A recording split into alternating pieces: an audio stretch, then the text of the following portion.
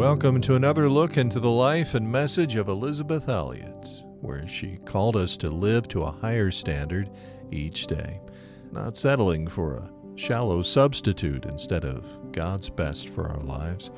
As this podcast series continues in the coming weeks, we'll hear from family, friends, and others who are influenced by Elisabeth's life and message.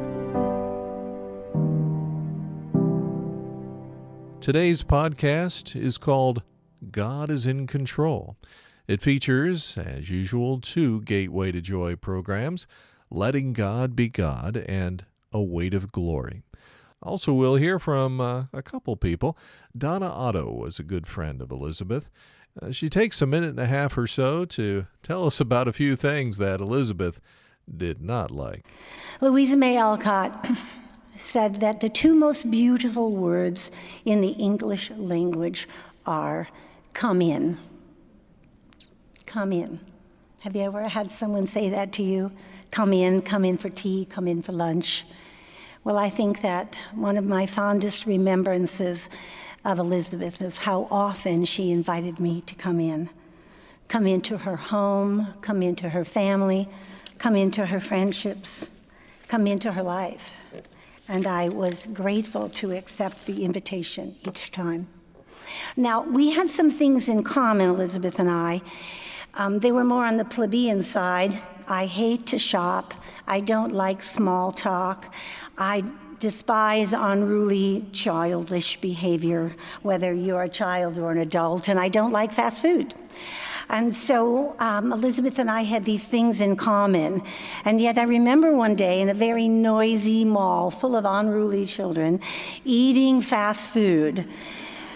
She leaned into me and she said to me, I've been given many gifts.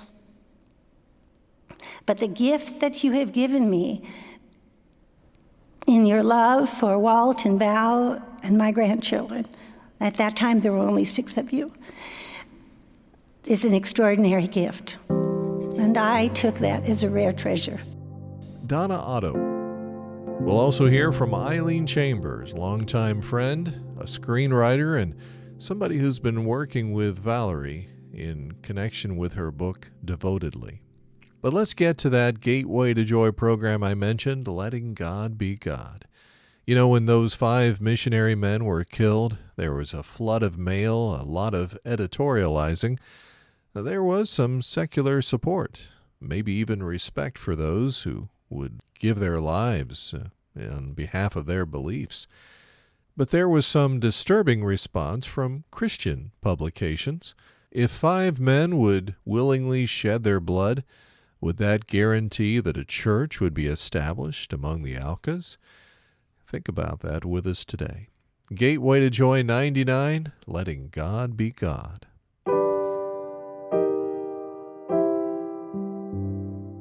When my husband Jim Elliot was killed in Ecuador, the news traveled around the world. It was not just Jim, it was five people that were killed at the same time, but there was a flood of mail that came to us widows, and there was a lot of editorializing. To my surprise, there was not very much editorializing in the secular press, other than an expression of simple respect for men who would die for what they believed. Not that people understood what it was they believed or were sympathetic with it, but it's always heartening to know that there are people who believe something sincerely enough and with strong enough commitment to actually give their lives for it. There are not very many things worth dying for, and if a thing is not worth dying for, it's really not worth living for either, is it? We frequently forget that. But I must confess that I was disturbed by some of the editorializing which appeared in Christian publications. The reason I was disturbed is because there seemed to be an underlying glibness, a certain pat answer to the death of these men, which was to many of us a great mystery. There was the assumption that the purposes of God are very plain in a case like this. We heard again and again the old saying, which is very true that the blood of the martyrs is the seed of the church. I believed that. I was not irritated by that. But does this mean then that if five men shed their blood, that there would be an Auca church someday? And I puzzled over that when I thought, do I trust God only conditionally that if he does what I think he's supposed to do, which is to save the Aucas, then he is God. And if he does not save the Aucas, then he's not God, and I can't really trust him. Or the other question that came to my mind was what if nobody gets saved? What if no other missionary ever goes to the Aucas? What if there's never an Auca church? What will these same people who editorialized so glibly have to say about that? You know, Jesus had some rather stern things to say about those who always required signs. Paul said the Greeks seek after wisdom, and the Jews require signs. And there are those today who look for thrills, for prosperity, for health, for wealth. And the gospel that is being preached by some is a gospel of prosperity. Do this, and God will do that for you.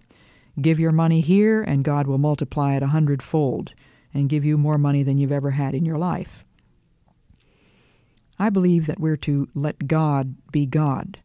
Sometimes He does things the way we expect Him to, and sometimes He doesn't.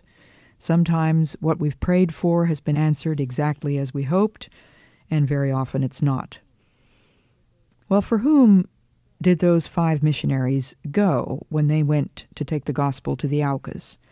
For the Aucas, of course, but not primarily. They went primarily in obedience to God. The truth is that not one of them ever had the opportunity to witness about Jesus Christ to those Aucas because they couldn't speak their language. It's difficult for people to grasp nowadays that anybody cares that much about anything, especially if it's invisible. Is there anything that you think is worth dying for? If you have trouble answering that question, then I would ask, what do you live for? If what you live for is not worth dying for, then it's not worth living for. God is God. In His will is my peace. And that peace is infinitely, immeasurably, and unspeakably beyond my imaginations. I think that I had been able to understand just about all the peace that I had ever had up until the time when my husband was killed. And it was in that worst possible experience, the worst thing that I could imagine happening to me then, that I discovered that the peace of God which passes all understanding is not a myth. It really does exist. Now, the Auca story, which turned out so differently from what we had hoped and prayed, was a part of God's story. But it was only a tiny part. It made thundering headlines, it made a tremendous impact in the Christian church, and it continues to do so. I continue to get letters and phone calls and meet people whose lives have been changed through the death of those men. And I can see that God's story goes on and on.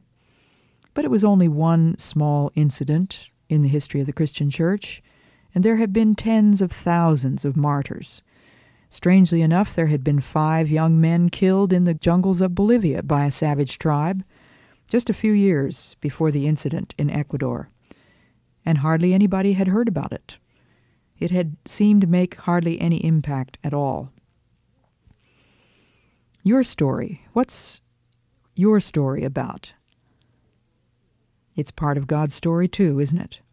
God does have a plan for your life. There is a purpose behind it all. Everything that happens fits into a pattern for good.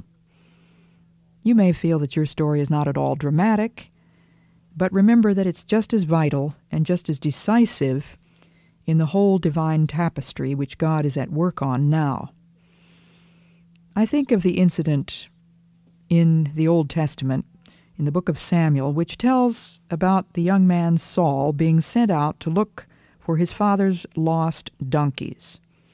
Now, those donkeys had wandered away, and you can imagine what a nuisance it is if your animals get out of the fence or away from wherever they were supposed to be. And so Kish, the father of Saul, sent him out to look for the donkeys. And Saul took along a servant, and as they were looking for the donkeys, they found some girls drawing water. And they asked them about a certain prophet that the servant knew about, if he happened to be nearby, and the girls said, Yes, there's a feast going on up at the hill shrine, and if you will go up there now, you will find the prophet there. And they went, and sure enough, the feast was going on, and sure enough, the prophet Samuel was there. And the prophet Samuel had received a message just the day before that he was to anoint Saul prince. As far as we know, God didn't tell him that he was going to find Saul at the hill shrine. But think back over the details of that story, which is a part of God's story that has been preserved for us in a book called the Bible. The details. The donkeys got lost. When did they get lost? Well, right at the time of the feast at the hill shrine. So, what happened when the donkeys got lost? Well, Kish sends his son out and says, Go find them. Saul goes out, takes a servant along. Perhaps he had several servants to choose from, but the one that he chose happened to know about the existence of a man named Samuel who might be able to give them some help in finding these animals. They find some girls drawing water just at that precise moment. Well, the girls undoubtedly drew water every day from the same place, but not all day every day. And just as Saul and his servant came along, there they were, drawing water. So they asked them, Do you know about a prophet named Samuel? And they just happened to know. Are these coincidences? The girls told them where to go. They went up to the hill shrine. It happened to be at just the time of the feast, and Samuel the prophet happened to be there. And so, because some donkeys wandered away, Saul was anointed king of Israel. God is at work on an intricate pattern. He who choreographs the stars in their courses also is in charge of the tiniest details of our lives. If God were not in charge of the little things, he couldn't be in charge of the big things. Let's not give way to the urge to oversimplify, to explain, to demonstrate, to prove. Often people ask me, How many Aucas are Christians? I tell them I don't know. Well, didn't they all get saved? Didn't I hear that all the men that killed the five missionaries got saved? And I say, Well, perhaps you did. I'm really not very sure about that, but I can leave it in God's hands. I believe there are Christians there. I believe that God is at work among the Aucas. But if there were no Auca church, not one Auca believer, could I still believe that God knew exactly what he was doing when he took my husband? I can, because he's God, because his promises are there, and because the part of faith is to leave things where they belong, in God's hands.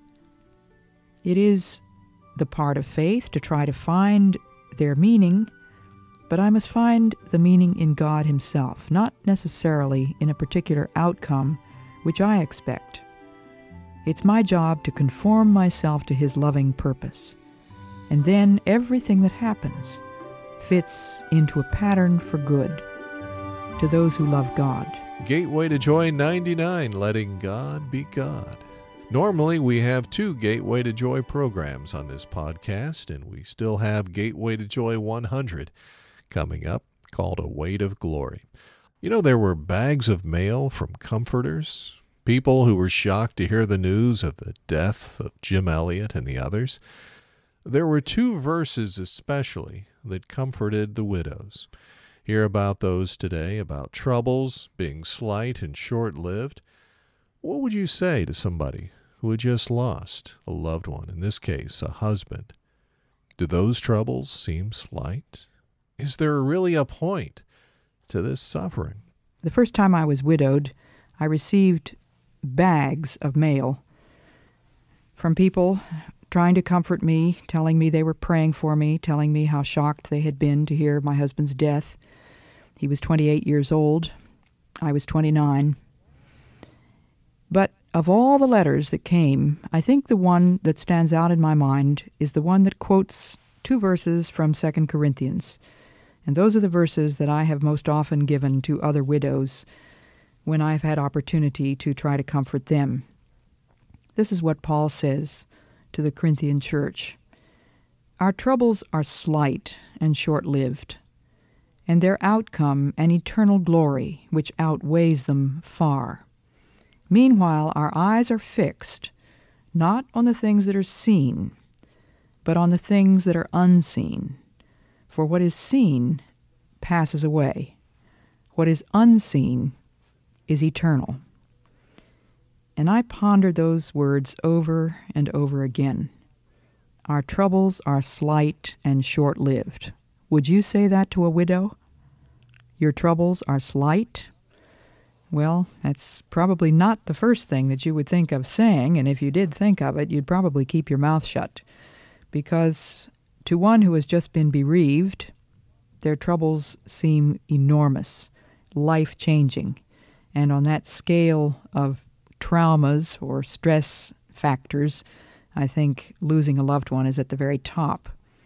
So our troubles do not seem slight and short lived at the time, but remember who's writing this. It's not a man who knew nothing about suffering.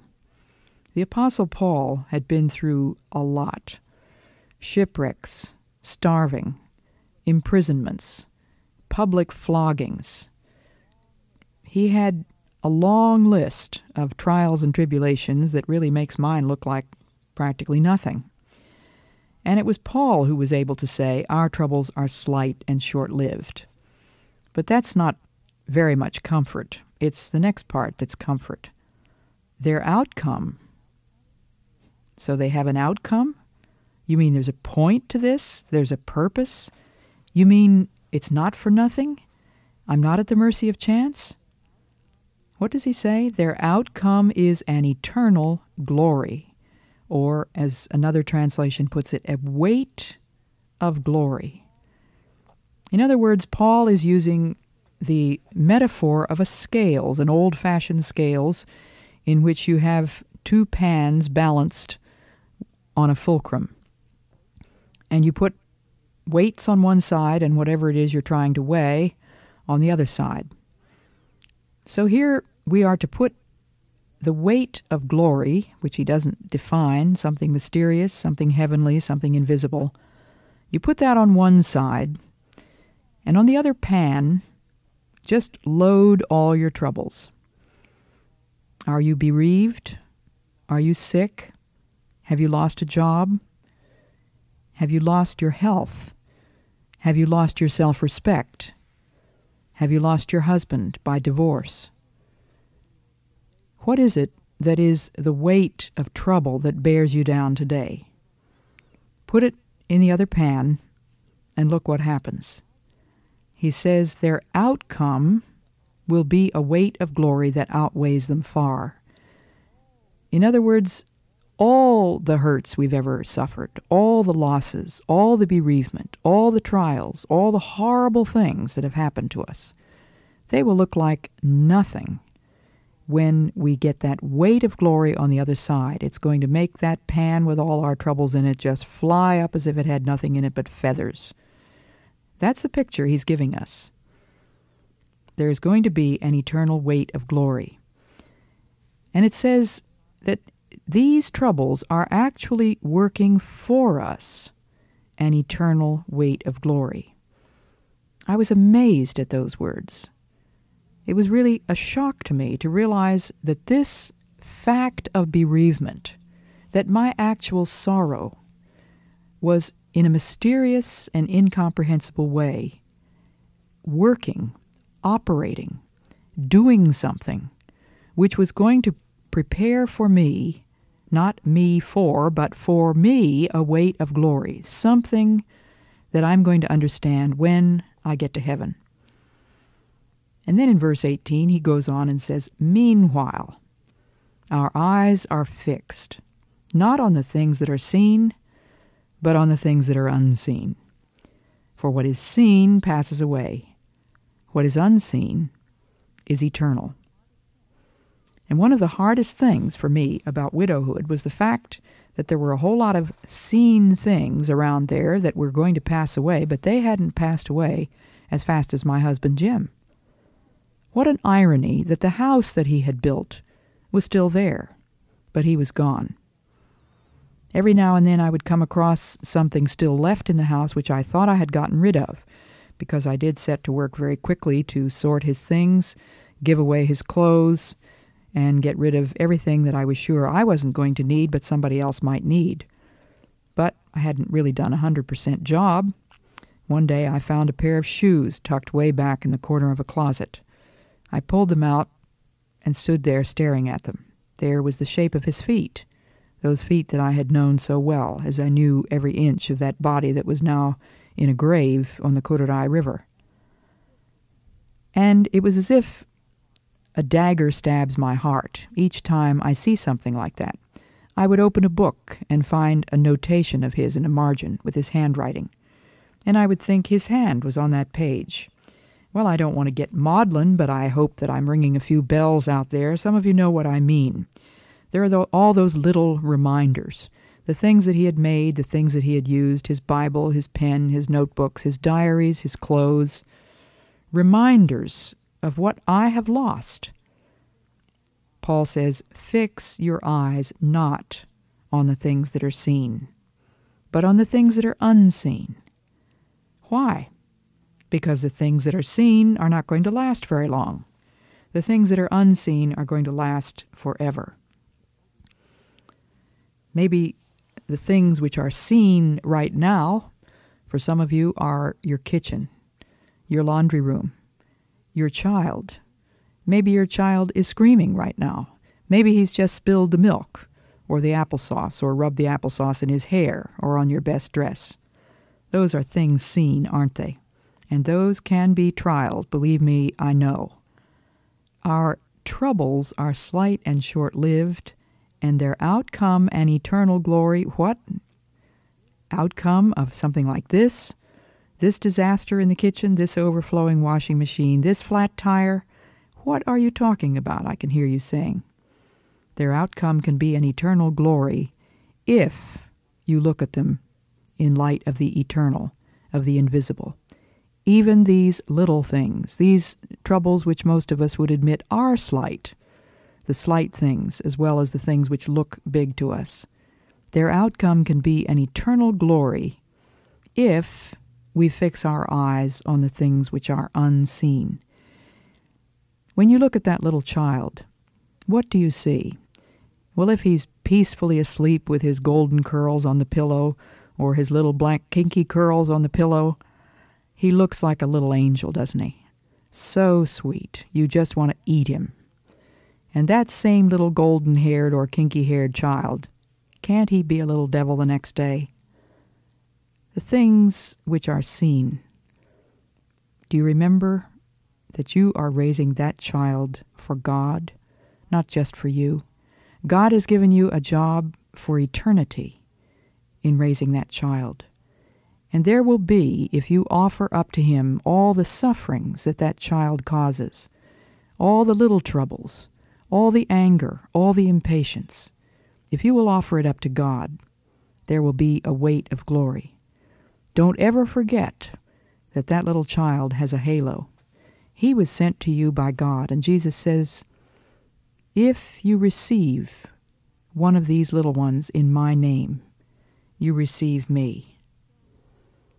And so I went back to my work in the jungle, to taking care of my baby and teaching my Indians, to cleaning the house and cleaning the lawn and the pineapple patch, to delivering babies and giving shots of penicillin. And I did the next thing, asking God to help me to do it for Him.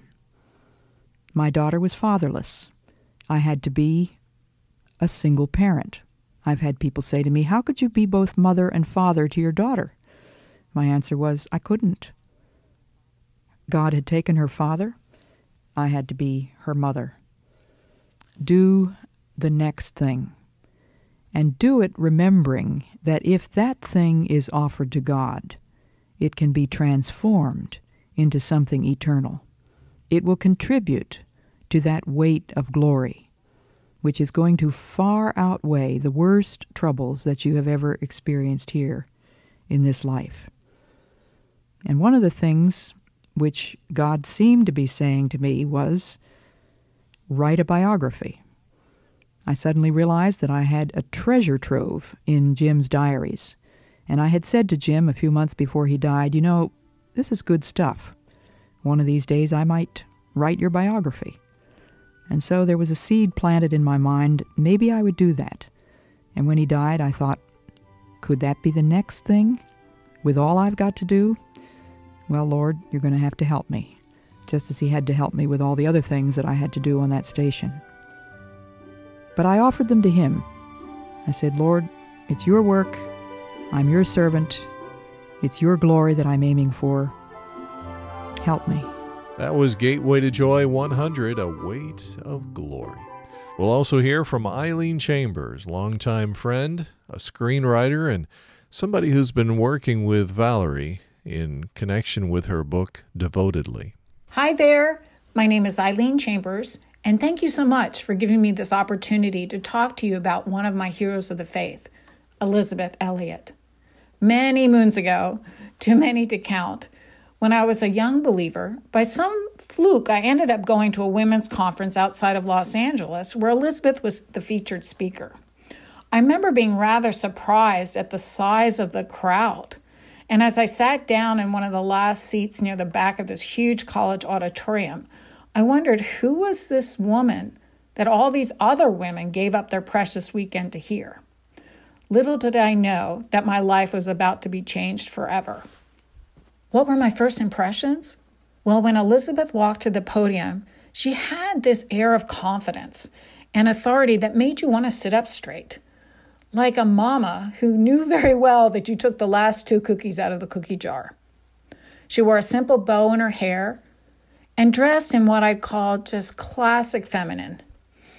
No, it was really clear right from the start there was not one ounce of Hollywood in her. Good gracious, she even had a gap in between her teeth.